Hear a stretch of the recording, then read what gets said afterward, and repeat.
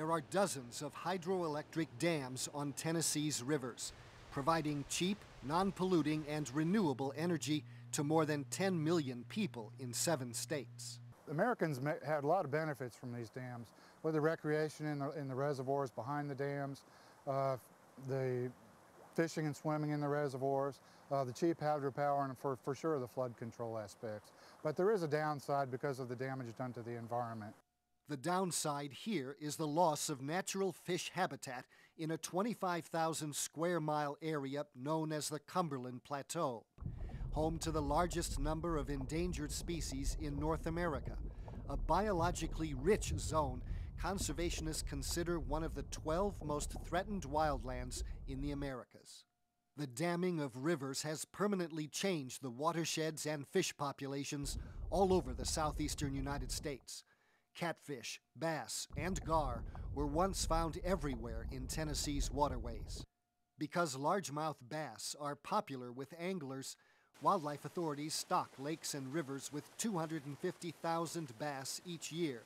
But warm water fish like bass and crappie cannot survive in the perpetually cold water at the bottom of large reservoirs. Our basic job in managing a river like this tailwater here is to provide a fishery in a place that's totally artificial. The, the native species are gone. Uh, we're, deal we're dealing with cold water here that wouldn't normally be here. So that, that requires us to stock rainbow trout and brown trout in this river to provide a fishery for people. Other species of fish wouldn't survive in this cold water. Today, the U.S. Fish and Wildlife Service raises trout in hatcheries, like this one in Dale Hollow. Our bread and butter fish is a rainbow trout. I think mainly because they're fairly easy for anglers to catch. They're pretty easy to grow on a hatchery and pretty disease resistant. The U.S. Army Corps of Engineers monitors temperature and oxygen levels below the dam. In late summer, the water from the turbines has lost most of its oxygen.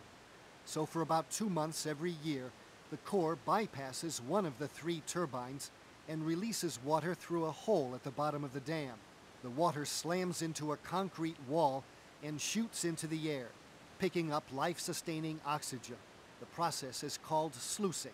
What we're doing with the sluicing operations is we're blending uh, ox highly oxygenated water from the sluice gate with lower uh, oxygen levels that are found in the hydropower turbines uh, this time of the year. If the water here wasn't aerated, these trout would turn belly up and die. Trout will try to reproduce, laying eggs in the gravel below the dams. But those eggs are doomed. Then they open up the generators either for flood control or to generate hydropower, flush the eggs downstream. So although uh, these salmonids are able to spawn in these tailwaters, uh, there's very little natural reproduction. If it wasn't for the hatcheries, again, there wouldn't be any recreational fishing there. The Tennessee Valley Authority modified one of its dams by adding an oxygen injection system and a labyrinth weir to provide constant and gentler water flows downstream, allowing brown trout to reproduce naturally. Right now, we don't stock brown trout in that river, and there's a phenomenal brown trout population. So that's kind of like the goal here. If we could get it where we don't have to stock fish, it would be a lot cheaper, and the fish, the fishermen actually prefer to see wild fish, who, who wouldn't? But establishing wild trout below most of these dams is unlikely in rivers that can rise or fall several feet in a single day, depending on the dam's discharge until engineers figure out a way to generate power without flushing fish eggs downstream, hatcheries like this will have to keep stocking these rivers well into the future. For Assignment Earth, I'm Gary Stryker.